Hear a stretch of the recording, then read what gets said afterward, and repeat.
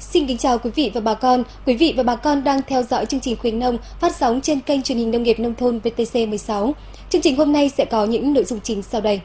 Hà Nội, mô hình nâng cao hiệu quả chăn nuôi chim cút sinh sản nhờ sử dụng chế phẩm sinh học vườn sinh thái. Kỹ thuật sử dụng chế phẩm sinh học vườn sinh thái trong chăn nuôi chim cút và gia súc. Trồng bông hữu cơ ở Ấn Độ. Sau đây là nội dung chương trình. Thưa quý vị, thưa bà con, hiện nay trong ngành chăn nuôi nói chung và lĩnh vực chăn nuôi chim cút nói riêng, để nâng cao năng suất và chất lượng sản phẩm vật nuôi, các nhà khoa học đã nghiên cứu chế tạo ra chế phẩm sinh học vi sinh không độc hại đến con người và vật nuôi. Một loại chế phẩm sinh học bổ dưỡng cao cấp được sản xuất theo công nghệ nano tiên tiến với tên gọi chế phẩm sinh học vườn sinh thái là sản phẩm sạch, không độc hại, không ô nhiễm môi trường và không có kích thích tố.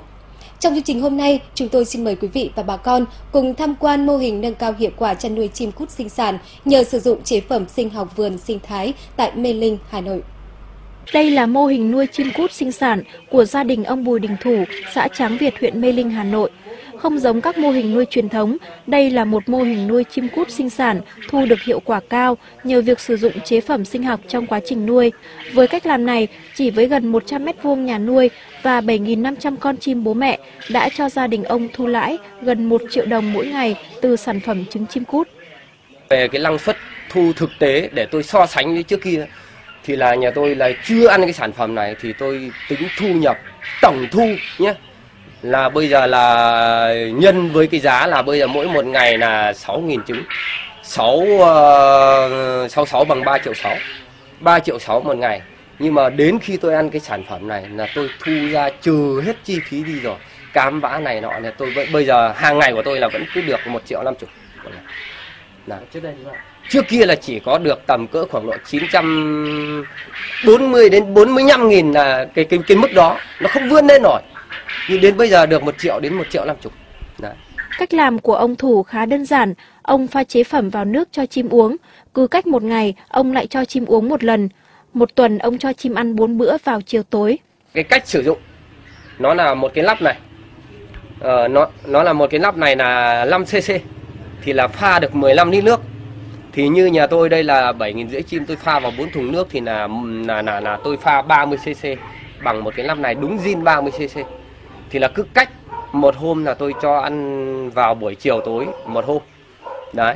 Nó rất đơn giản đấy, nó nó uống cái này nó rất đơn giản đấy, mà nó lại dễ uống. Đấy. Chế phẩm hữu cơ sinh học này trực tiếp tác động vào quá trình tăng trưởng của chim, giúp chim tăng trọng nhanh, tỷ lệ đẻ trứng tăng lên và ổn định, cải thiện chất lượng trứng, tỷ lệ lòng đỏ đồng đều.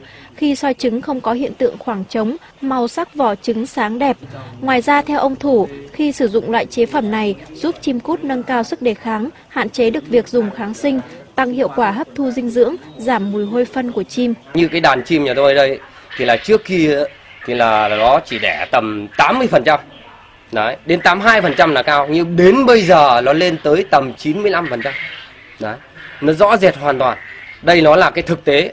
Cái thứ nhất, cái thứ hai nữa là cái vỏ trứng nó lại cứng hơn. Đấy.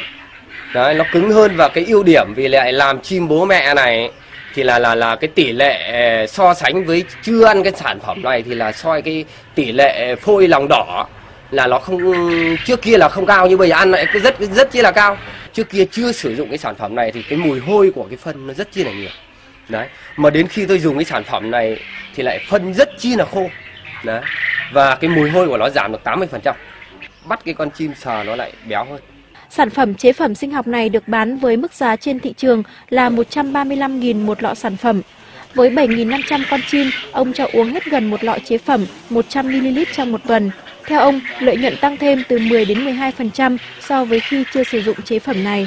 Tôi cho ăn thì là thấy hạch toán cái lợi nhuận của nó rất chi là cao luôn. 135.000 bà con là nghĩ là nó bé thế này là đắt nhưng không phải là đắt. Đấy.